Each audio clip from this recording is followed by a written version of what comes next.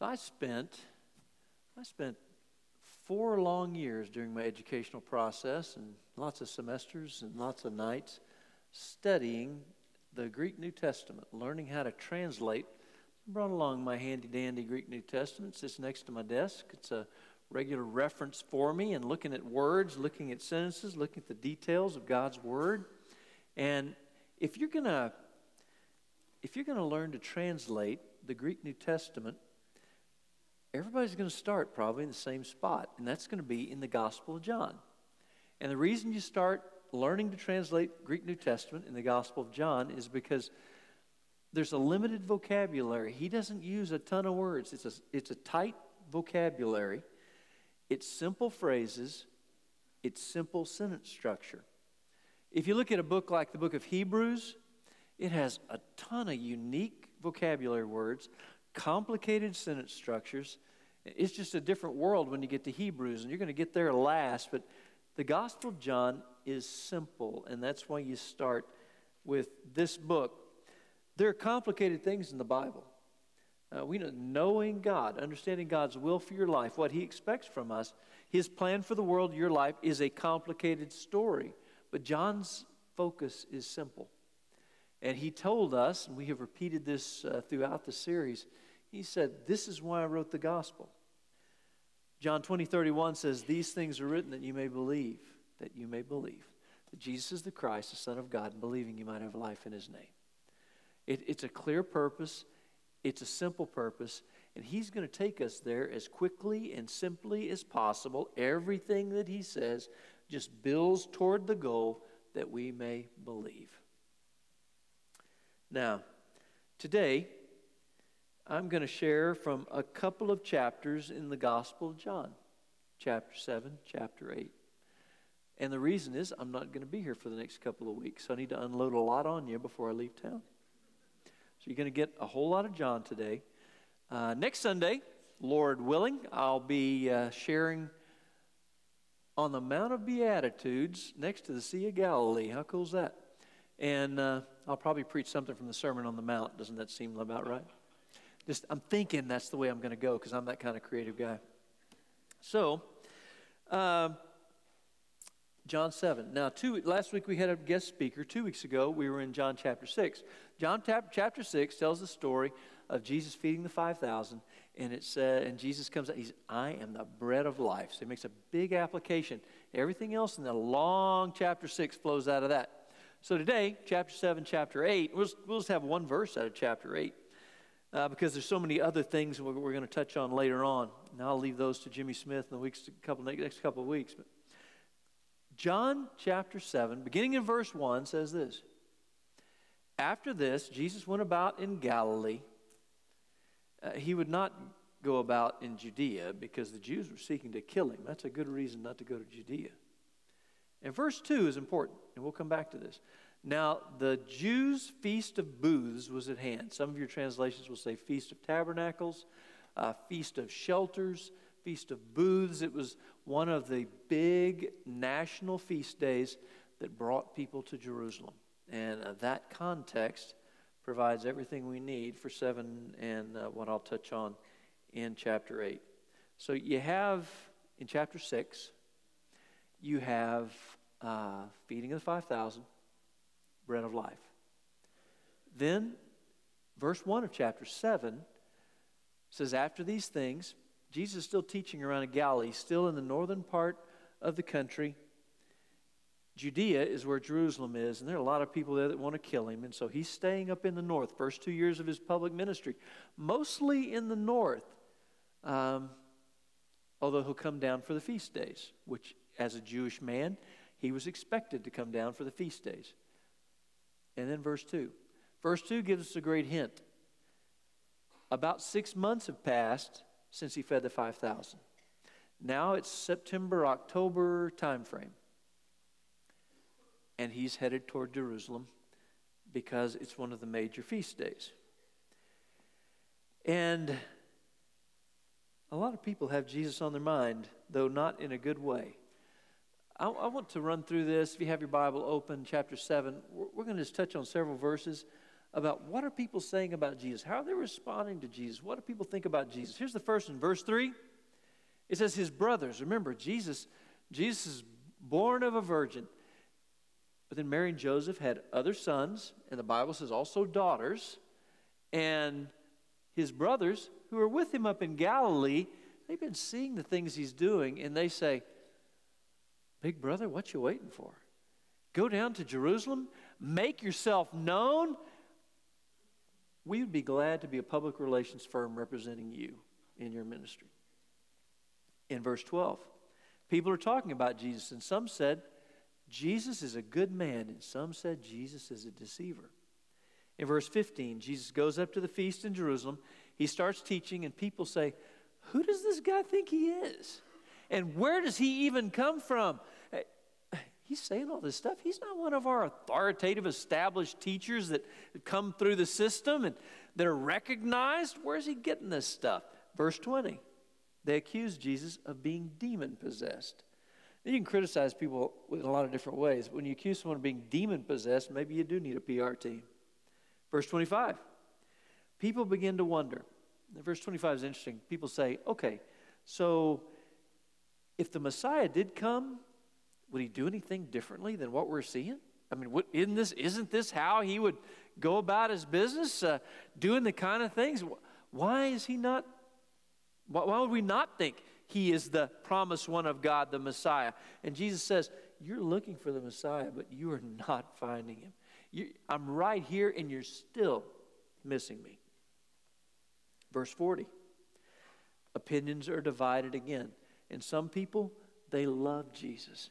And some people, we talked about this a few weeks ago, they want to redefine Jesus. And then there's a core group of religious leaders in Jerusalem, they just want to kill Jesus.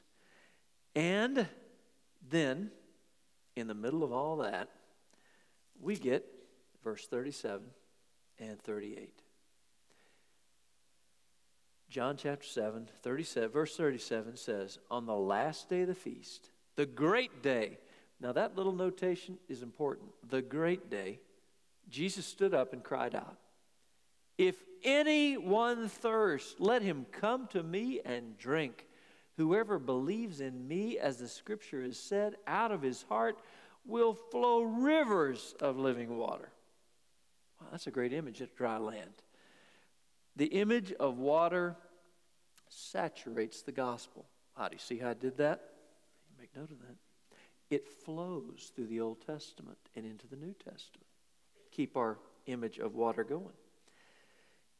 We find Jesus is baptized in water, turns water into wine, walks on the water. There's a lot of water that happens in Jesus' ministry. And a lot of that's going to come from those Old Testament stories because water is scarce in the land of Israel. And that image and how God illustrates the water of life uh, shows up again and again. So, Old Testament, we might as well start in the beginning. In the beginning, God created the heavens and the earth. Now, the earth was formless and empty, darkness covered the surface of the watery depths, and the Spirit of God was hovering over the surface of the waters. And in this story, where God gives birth to the creation, He brings shape and He brings order to the watery chaos and this is an important starting point for the ancient Israelites because water held a lot of diverse meanings for them. Water is the source of life, it's a place of danger. Oh, and they, well, the psalmists love to grab that image because they'll talk about the ocean because the, the, the Jewish people were not a seafaring people in a big way. They got on the Sea of Galilee, but they stayed away from the Mediterranean. The sea was a place of mystery, a place of danger, a place forbidding. Place of danger. Water's a, water represents cleansing, it represents renewal. And whether, whether God is separating uh, in the creation stories the, the water from the land or the watery chaos, He brings order. He is authoritative over the waters. Then in Genesis, we don't have to go very many chapters till we get the flood account, right? This time, God uses the waters to bring judgment against sin and sinners. He floods the world. 40 days and 40 nights it rains, and the waters burst up from the ground, flood the whole earth. But then, as the waters recede, there's a newness and there's a renewed commitment of God to covenant with his people as he calls them in a renewed covenant to him. And the rainbow in the sky declares God will never again destroy the water, destroy the earth, judge the earth by flood. Chaos and order, death and rebirth, and those themes uh, go all the way into the Gospels. So Jesus began his ministry. He steps into the Jordan River. John says, I am not the guy to baptize you. You ought to be baptizing me. This is John the baptizer, not John the apostle that wrote this book. But yet he, he submits to Jesus' request.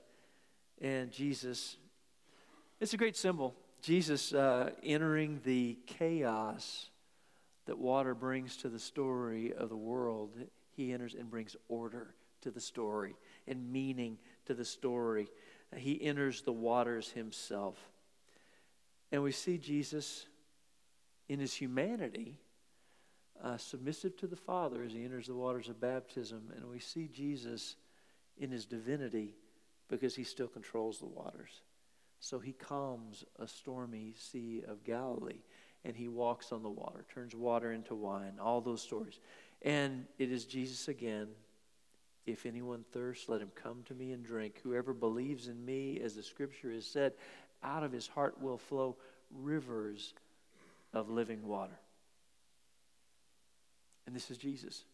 Just as he transformed the water into wine to meet a need, Jesus sheds his own blood.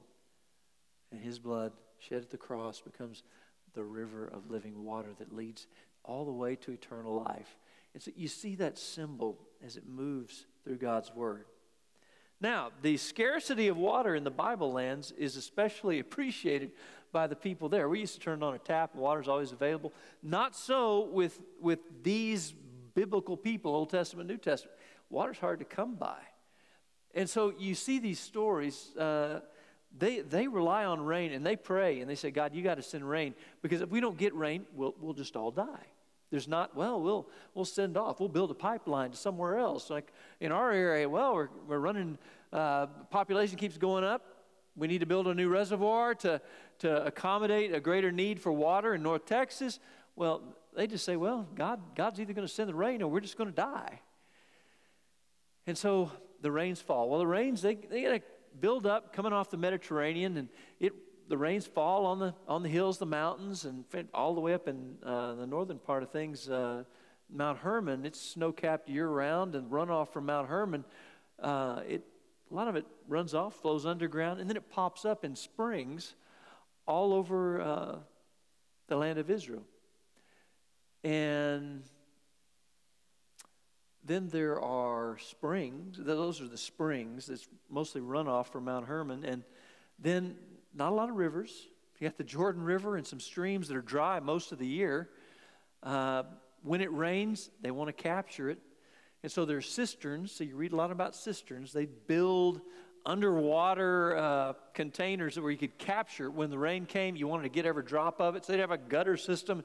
It would run in and then they could store the water so it wouldn't wouldn't disappear. It's hard to come by. A lot of limestone the water would seep out. So they had to construct these cisterns that would hold water.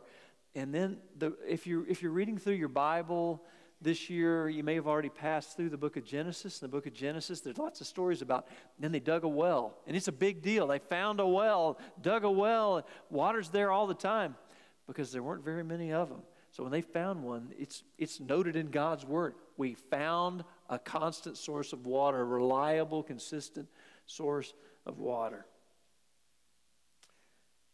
One of my favorite passages in the bible is the one where Jesus goes out of his way to meet a Samaritan woman at a well. And it's one of those wells mentioned in the Old Testament, one of those special places that the water's always there. It's a deep well, it's a reliable well. It's been there for centuries and centuries. And Jesus goes to, the, goes to this woman who's alone. We had a sermon about this a few weeks ago. Goes to a woman, uh, John 4, give me a drink. And we're actually not told whether or not she gave him a drink, but Jesus gave her a, a great word about living water not water that just comes from a well and you're going to be thirsty again in a, just a little while. Certainly by the next day, But he says, Everyone who drinks of this water will be thirsty again, but whoever drinks of the water that I give will never be thirsty again. And the water that I give him will become in him a spring of water, welling up to eternal life. What a great image of, of, of what the water is and what the water does. Listen, that image of water, drought is going to come to everybody. Spiritual drought, spiritual dry things going to touch all of us. Hard things are going to touch all of our lives. We're not told that if you follow Jesus, everything's always going to be easy, smooth, carefree, uh, happy go lucky. We're told that we'll never have to walk alone. We will never have to face those things alone when, when the water of life is our life. And so, in those heat of life problems, we're just going to we're going to have flat tires on our cars and our computers are going to break down and we're going to struggle with the effects of aging or infertility or cancer, a prodigal child, or um, maybe married to a spouse that doesn't know the Lord. Friends may abandon us. Uh, marriage is tough. Financial difficulties, lose a job, experience abuse. The truth is, regardless of where we're planted, following the Lord exactly, there are going to be drought times, dry times. And the big question is how do you respond to those times when they come? And you can try to manage it yourself, or you can turn to the one who said, I am the water of life, a well, uh, water welling up to eternal life. It's all a matter of where you look for your relief and where you look for your help and hope. Look to Jesus. Then, we find another simple example, simple words, simple vocabulary from John's gospel. And this, chapter 8, one of his great I am statements. Remember, there's seven I am statements in John's gospels. He form, forms up his argument, his presentation that you may believe Jesus is the Christ, the Son of God, believing you might have life in his name. In verse 12 of John 8, Jesus spoke to them saying, I am the light of the world. And we said this several times, say it again today. That sounds fairly benign to us, but for, for every hearer in the first century, when he said, I am, they all knew he just crossed a line that they didn't think he should have crossed because he declared himself to be God. He used that special covenant name that God gave to Moses, and when he said, I am, and that would have offended just a whole lot of people. That is why they killed him, because he claimed to be God.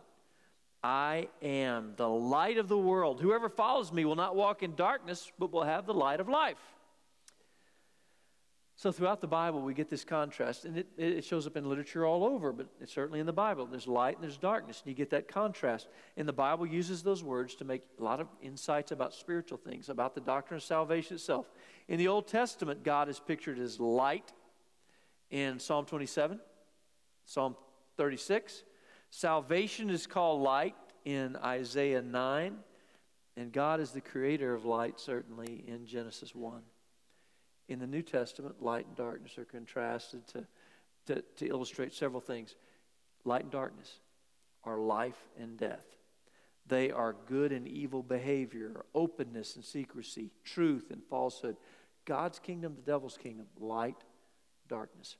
The Bible offers a lot of implications for living in the light. That living in the light with God means you're going to walk in truth, fellowship, love.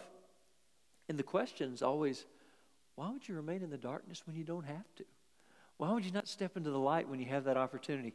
I, I read this news story and grabbed it a while back. It's a story about a woman named Rose Crawford. She was 50 years old she went in to have this surgery on her eyes, which is what attracted me to the story because my eyes, my eye troubles. Well, she's been completely blind her whole life. 50 years old, she goes in to have surgery. They're taking the bandages off, and for the first time in her 50 years, she sees light, she sees color, she sees form. Her vision has been restored. And she's, she's just weeps over, oh my goodness, this is so incredible. And you can imagine what this would be like for someone blind, completely blind for 50 years.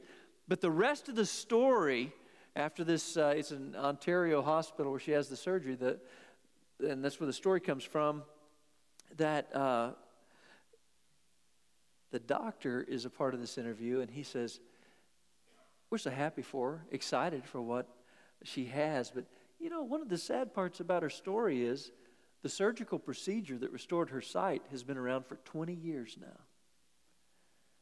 She just assumed that nothing could be done. And someone, through you know, series of circumstances, they say, I think we can fix this. She got in front of the right doctor, the right time. And, but, but the, the story and what makes it really hard, you know, I, I mean, I feel, I, I feel for somebody's story like that is she spent 20 extra years in darkness that she did not have to be in darkness.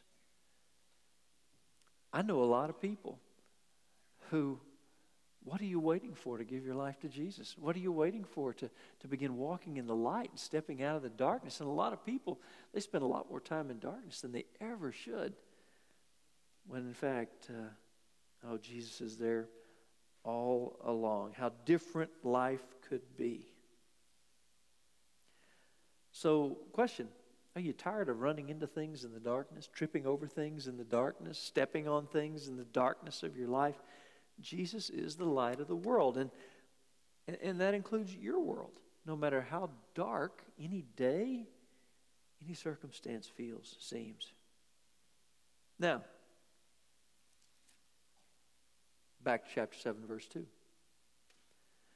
Now, the Jews' feast of booths was at hand. And here's why that's a big deal because it's the context of everything Jesus just said.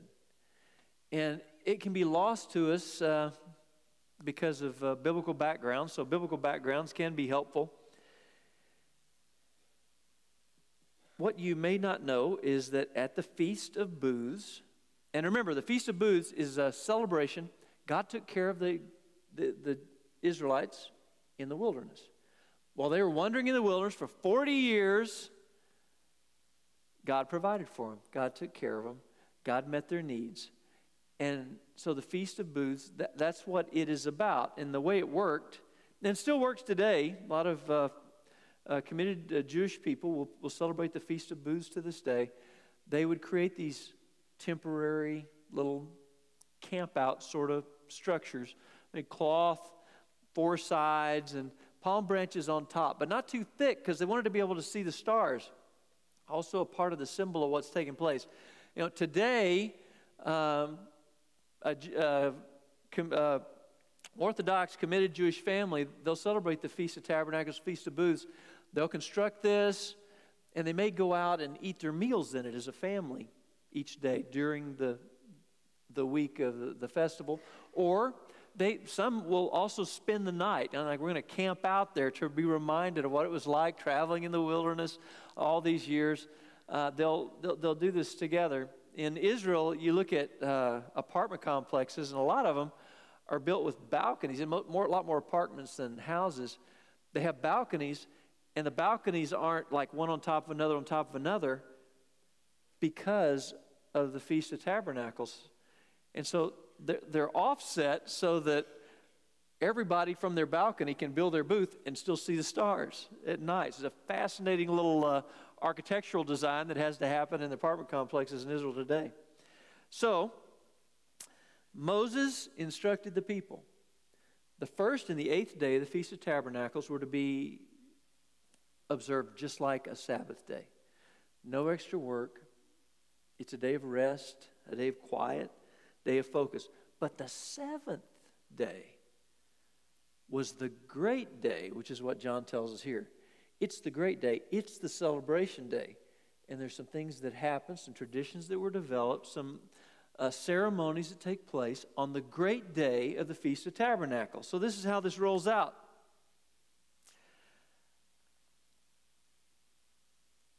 There's this parade. This is the first thing. There's a parade. And the priest would have two golden pitchers. One of them would have wine, the other empty, and they'd have this procession. And everybody wanted to be a part of it. It was a big woohoo kind of celebration. And they would make their way to the pool of Siloam. Remember, Jesus, uh, there, was a, there was a guy, a blind man.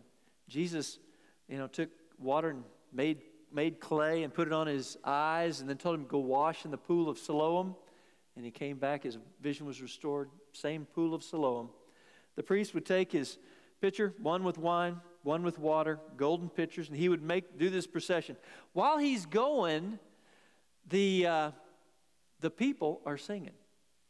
They're singing Psalm 118 which is just a big celebration. God is great and God's wonderful and all the things He has done and provided for us. So they're singing Psalm 118, and they had lots of flutes.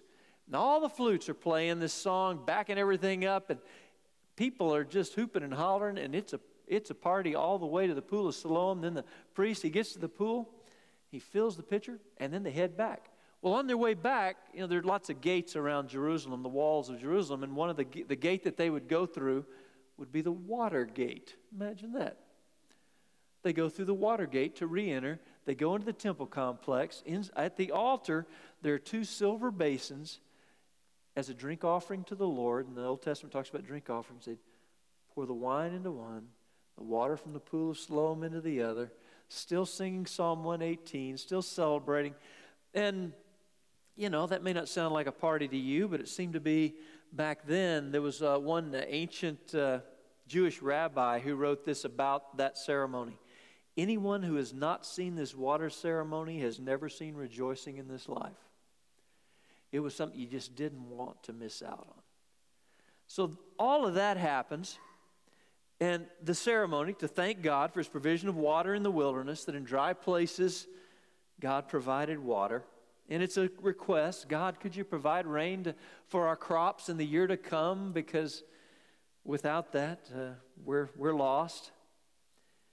And again, we're used to turn on a tap and there's water, but not so in the Middle East, not in the first century. Sure enough, water was scarce, and they were aware we have to depend on God for everything. In a dry land, we have no hope apart from God's provision of water for us. And that's why the, the prophets in the Old Testament, they assign such high value to water as it is a symbol of salvation itself.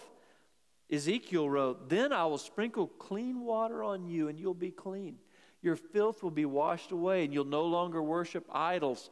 Now, the same sort of language we get when we talk about baptism today, that is a, a symbol of our sin being washed away. Now, that's, that's the water. So, we've given you some water. We've given you some waterfalls. We had the, the uh, En Gedi is where the uh, waterfall picture was. We had on, had on the big screen a while ago, and uh, En Gedi, it's one of David's hideouts, and you're right up next to the Dead Sea. It is desert everywhere, and then you cut through the rocks, and all of a sudden, here's this oasis in the middle of everything, and uh, a waterfall, one of the springs, and that's just where it happens to drop down.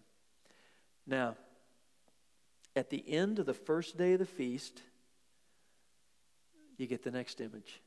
Because the end of the first day, they're going to illuminate the temple complex. And here's uh, one rendering of what it would have looked like. So, what you have, that big area, that's called the court of the women in the temple complex. And you see the torches, there are four of them. And uh, probably not far off from that big because they were 75 feet tall. Four of them. And they would have had four uh, branches from each one of these huge 75 foot tall pillars.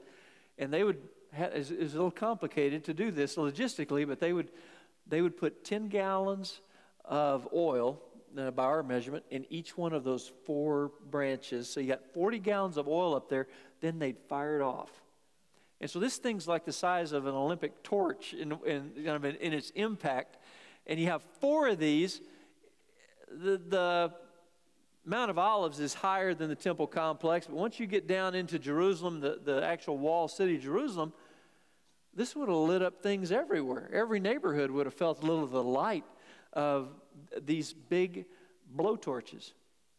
And uh, as a part of the ceremony, the Feast of Tabernacles, they lit these things off as a reminder that God led his people, pillar of cloud by day, a pillar of fire by night. They were reminded of the glory of God that descended as, as fire, the Shekinah glory of God on the tabernacle, later on the temple, and now the glory of God, the light of the world, has returned to the temple complex because Jesus is there. And he is the light of the world. And Jesus, I am the light of the world. Whoever follows me will not walk in darkness, but will have the light of life. And so it's, it's during this incredible water ceremony that Jesus says, A well springing up, living water. And it's maybe next that night then in the court of the women as the people have gathered in mass. Some of them are carrying lamps as well to, to celebrate this. And he says, in that context, maybe standing next to one of those blowtorch uh, towers, I as he says he shouts, I am the light of the world. So, so how do you drink the water Jesus offered? How do you step into the light of Jesus Christ? It is so simple because the gospel is simple. Because it's by believing. These things are written that you may believe that Jesus is the Christ, the Son of God, and believing you might have life in his name. And this is received by believing. In John's gospel, the worst sin you can commit is not believing. And the greatest act of obedience is always going to be believing, trusting, putting your faith in Christ. He alone can satisfy the dry places of your life, the drought seasons of life because he's a spring of living water, flowing water, constant source of water from a well of the Spirit that never runs dry. And do you need that today? He brings you light in your darkest days to the darkest corners of, of our existence. Do you need some of that today? He's the water, He's the light, He's for you. Believe.